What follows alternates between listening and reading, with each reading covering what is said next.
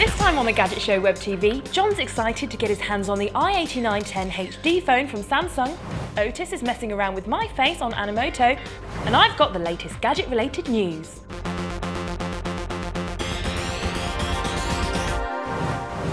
Hi and welcome to this week's Web TV. Now there have been some great smartphones released recently that have got people very excited. Jon's here with a look at Samsung's latest effort to keep ahead of the game. Oh, it's so shiny.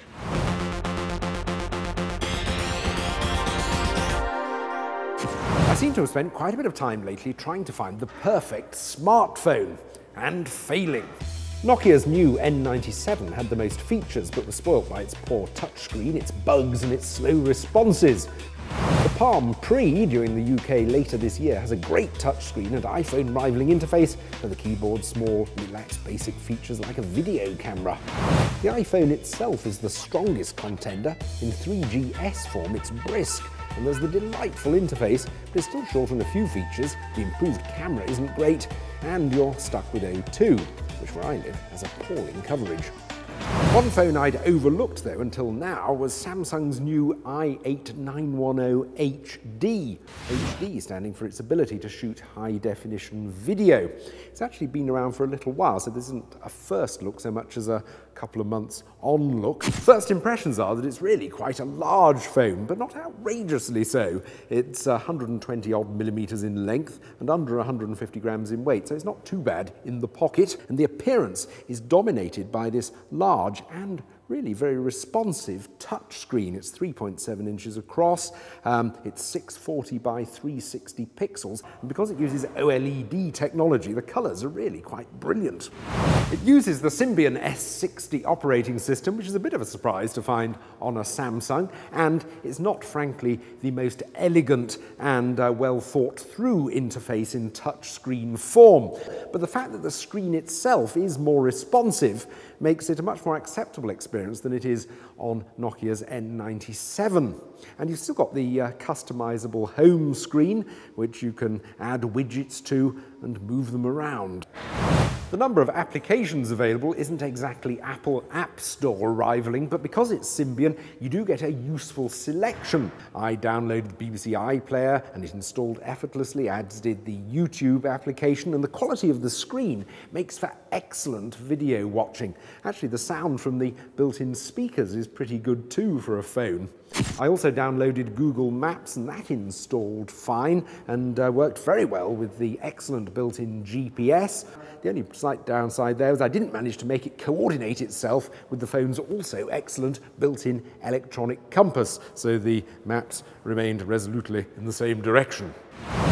The music player's good, and there's an FM radio, which is important to me, and it's all played back through a 3.5mm headphone socket. It's just a pity that the socket's located under this rather fiddly flap.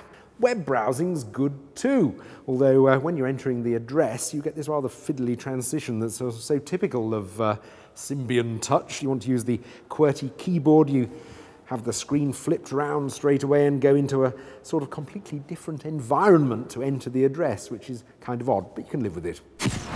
As for battery life, I think it's a bit better than most of its main rivals. I think you'll still end up charging it every day, but you'll be more confident that the battery lasts through the day than you would with an iPhone or a Palm Pre. Also, because it's uh, changeable, you can actually carry a spare as well.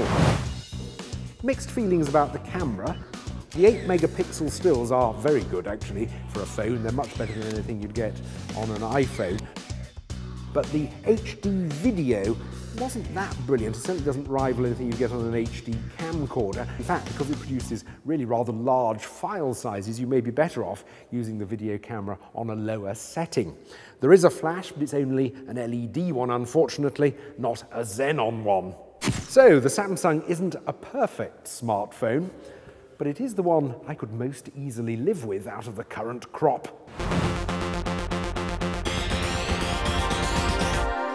On-demand fans rejoice because MSN Video is now available on demand. The popular MSN Video player will have over 300 hours worth of shows and is available from this week. Microsoft have said that it's extending its service by adding content from as many broadcasters and studios as possible. The beta features material from both the BBC and All 3 Media and includes popular UK shows Peep Show and Shameless. Programmes are available as Windows Media Video and Flash formats which are compatible on both Mac and PC.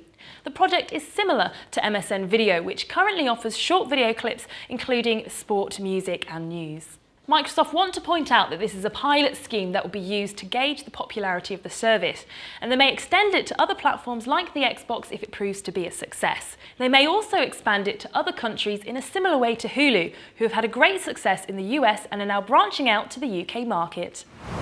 Sky have confirmed that the 3D TV service they have previously been trialling will be available at some point in 2010, making them the first broadcaster in Europe to offer the next generation of TV. Since they first showcased the 3D TV service at the end of 2008, Sky have been chomping at the bit to get it into people's living rooms as soon as the technology would allow. They're hoping to offer a broad selection of the best in 3D programming, including movies, entertainment and sport. Sky claim that their current HD subscribers will be able to use use their existing HD box and will not need to upgrade their equipment. However, if your HD TV isn't 3D compatible, you will need to invest in a 3D ready TV before you can use the service. Despite most homes still having to make the jump to HD TV, Sky are confident that people will want to invest in the new technology once they've seen their 3D TV service in action. Last week on Web TV we showed you the photo editing site Aviary. What do you do with those pictures once you've made them all perfect? Well, Ortis has discovered Animoto, which may hold the answer.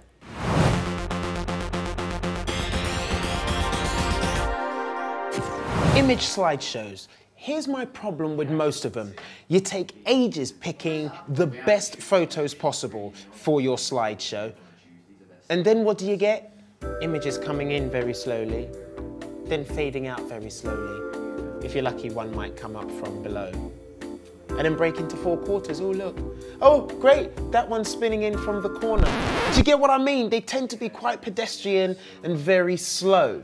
Animoto intends to change all that. Now, it's a web application that takes your photos and then puts them to the song of your choice. And then what it does is it animates these photos with some really nice transitions and they go to the rhythm of whatever song you've selected. Now it's very easy to sign up, in fact it's free and you can make a 15 second video for absolutely nothing. If you want to make a full length video then that's going to cost you a nominal fee. Here's what you do, you select your photos, you can do them straight off your computer or you can have them retrieved by Animoto from any albums that you may have uploaded to social networking sites like Facebook, PhotoBucket, Picasa, etc, etc. Once the photographs have been uploaded and processed, You can then choose to delete some of them and you can reorder them as well. Choose your song, upload that, or you can choose one from a collection that Animoto has. Press click and there you are. A unique image slideshow like none that anybody else will have. Now, what I like about Animoto is obviously it takes a lot of the stress out of trying to cut and paste the pictures into the rhythm of the song yourself. And you can share your videos with friends on the Animoto site, or you can download them, email them, or you can embed them into the page of your social networking site. Go try it for yourself. But before you do, here's one I made up a little bit earlier. Come and have a look, come and have a look.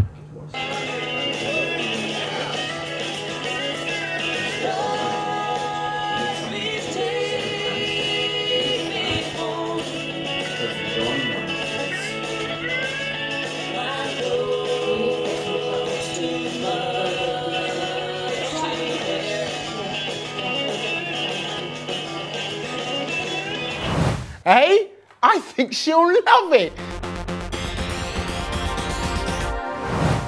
Well, that's all we've got time for this week, but next week we've got a first look at a very special television from Philips, so make sure you tune in. The Gadget Show is back on TV now, Monday nights from 8 on 5, and we're here with behind the scenes features, exclusive videos and reviews on our website. On top of all that, you can become a fan of the show on our official Facebook fan page and follow us on Twitter for regular updates on the new series.